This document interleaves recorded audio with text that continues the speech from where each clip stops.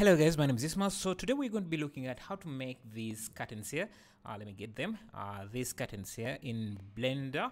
Uh, yeah, so I've always struggled uh, with uh, making curtains like these, make and uh, have them look realistic. Uh, so I've, I've been experimenting with the cloth modifier or the cloth simu simulator to see how I can achieve something that looks a bit realistic. Uh, because uh, you can you can try modeling this, but uh, it takes a lot of time and it doesn't always come up uh, realistic. So yeah, let's look at how we can achieve something uh, that looks good and uh, quite easily using the cloth simulator. Uh, but uh, before I go to the tutorial, I want to thank everyone that has subscribed to my second channel. Uh, we, we are just in two days, in a period of two days, we are at already 37 subscribers. Uh, so as I said, I'm just separating these these two channels, top channel one on one, uh, so that this is only uh, this only has content uh, that I have voiceover on uh, that I explain. Uh, basically, it's going to be a step by step uh, tutorial. Channel where I explain everything, and this is going to be a more like a time lapse tutorial, and that you can see already some of the content I've already uploaded there. I made key uh, did texturing there. I think I'll explain how I did the texturing because I think it's very interesting there. Let me just give you a let me just show you the texturing part in case you are interested in that. I'll be making a tutorial, a step-by-step -step tutorial on how I did the texturing, uh, but uh, for the steps how I modeled this, you will just have to look at uh, the time lapse here. Let me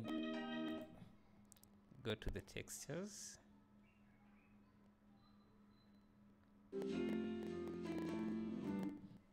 and see how uh, the textures came out. Yeah so I, will be making an explainer video on how I made the textures to make it rusty. Uh, let me see if I can find the final image.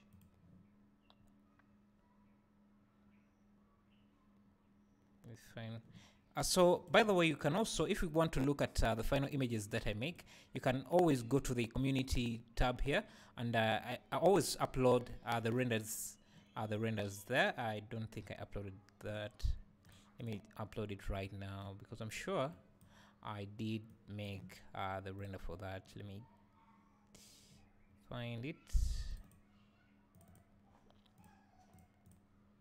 So this this is how the image looks uh, the keys looks. You can see the texturing that I did there.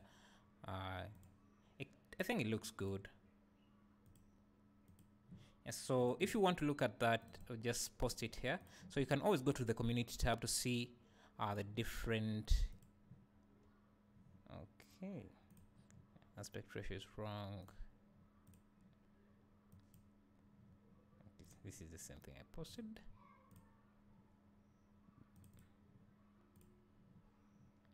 Okay you can always come to the community tab to see uh, some of the renders I've made and uh, yeah. So let's go back to the tutorial and uh, see how to make these curtains. So the first thing you can do, let, need, uh, let me just have this in the image editor, also switch on uh, the screen keys and um, let me expand this. can now delete this. So what we want to to do is make these curtains here. So you can start with a plane, rotate it to face you 90 degrees, or scale it up, maybe turn on uh, random colors and then cavity and then shadows as well. So I'll scale it horizontally because uh, the uh, these curtains are always uh, uh, this aspect ratio or uh, or more more rectangular than square. So let's do that and then apply rotation and scale to to to have all the values the scale values set to one and uh, we can add in subdivisions uh, because we're going to be using the cloth modifier. But uh, don't add too many. Let's add around around uh, how many are these? Four subdivisions like this. Okay these are five subdivisions. And uh, what you want to do we're going to we want to uh, animate this folding in. So we want these vertices. All the vertices this side uh, to to snap let me first cursor selected. I want everything this side uh, to fold in this side. So the curtain will close like that and then open like this. So we want to be able we want to animate this this here uh, but uh, I don't want to use uh, key shapes because that will take away a lot of control that we need. Uh, so what we are going to do is uh, use hooks. So there's a feature if you have never used it uh, that uh, lets you uh, move vertices outside edit mode. So you can see when you go to object mode you can't see you don't have access to vertices but uh, there's a feature that lets you have access to those uh, vertices. Uh, and uh, the way you do it is that uh, you you can parent any of the vertices the vertices you have here the vertex that you have here parent it to an object and if you if you select an vertex like this and and and hold on control H you get this option to add a hook or hook that vertex to an empty. So now we, when we go to object mode, uh, we can select this vertex and you can see when I move that, we can select that hook and when I move that hook, because the vertex of this mesh is parented to this, uh, we can move that vertex as well. So we can select another vertex here, hook it to another uh, empty. You can see we can do the same. So we're going to do this for all these vertices uh, that we have at the top.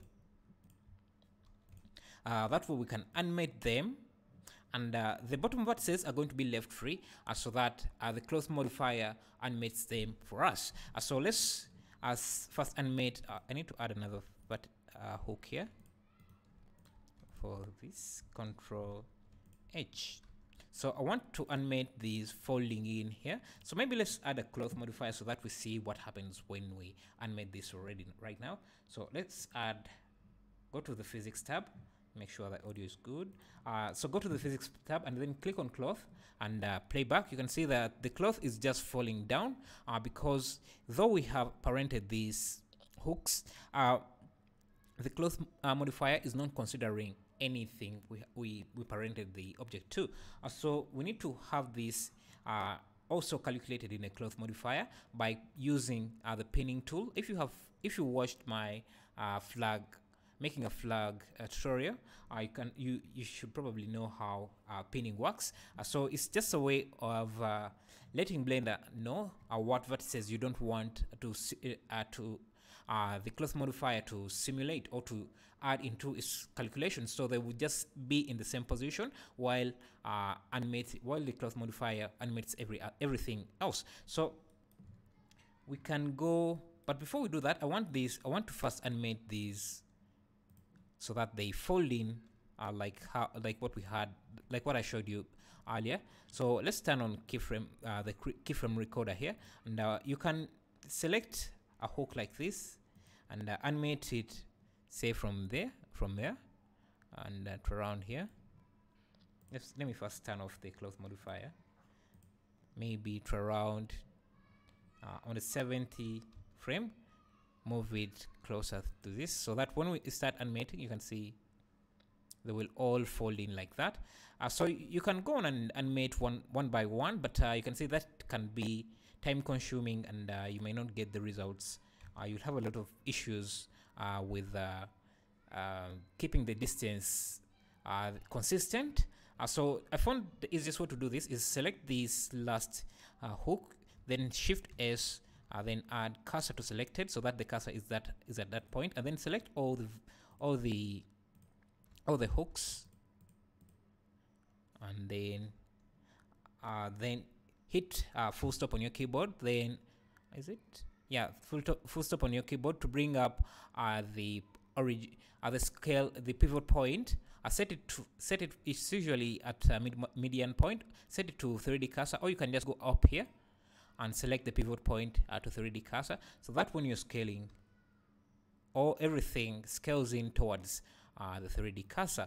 And uh, you don't want to scale in all direction you just want to scale in the X direction or wherever your orientation is uh, so that they just collapse into the last uh, vertex or hook. So let's start animating let's add a first key the first keyframe here.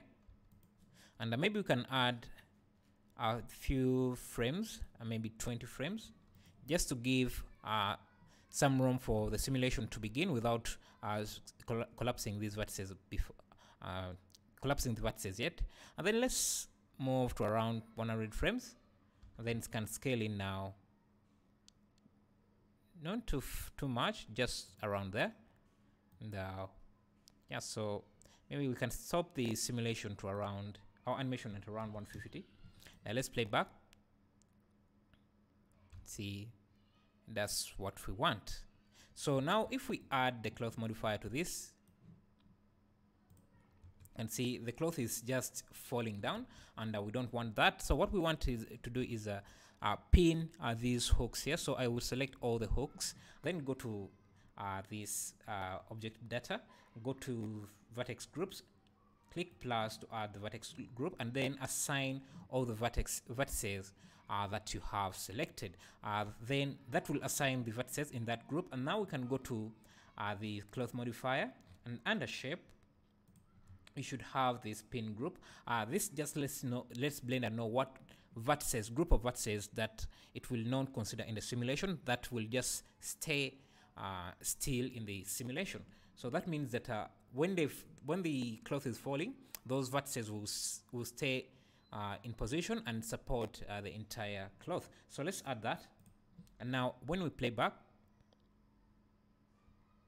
okay blend okay yeah so you can see uh, the cloth is being simulated uh, but uh, because we don't have a lot of uh, polygons you can even see that uh, it's swinging uh, we don't see a lot of movement in the cloth. So we can you can see all these modifiers are being added by added when we add these hooks here and they influence what hook works and what does not. So if we turn off all the hooks and uh, play back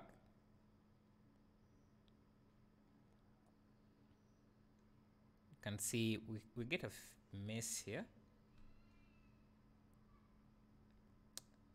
But uh, let me see let me see. Oh yeah because uh, because uh, the vertex uh, the vertices are still pinned uh, that's why the, the cloth is not just falling off. So if we select these and uh, just remain with one vertex. Uh, select all these vertices but one and then remove so that only one vertex remained remains in our pinned group. So if we play back you can see that the cloth will fall off like that. And if we turn these back on you can see though the cloth is not pinned uh, these uh, should be following uh, that. But uh, let's turn back turn on those vertex group again. So I'll select them and then assign them again so that we have that. Now we just need more resolution for this cloth. And uh, I'm not just going I'm not going to go in and subdivide. So I'll, I, I want to use the multi-resolution uh, modifier to add more resolution. But because we only ha we have a lot of uh, vertical uh, subdivisions but not horizontal uh, subdivisions. I would add in a few subdivisions there so that we have even subdivisions like this. And now if I play back you can see the you can see the effect of the cloth modifier but uh, we, we is is still lacking more resolution. So let's add a, subdiv a multi-resolution modifier, so multi-resolution. I make sure it's above the cloth modifier, modifier, otherwise it will not be included in the cloth simulation. So let's go to sub, instead of using Catmull, it's my Catmull, I just go to simple and then subdivide a few times so that we have more resolution in this uh, cloth and then we can play back. I'll give me a moment.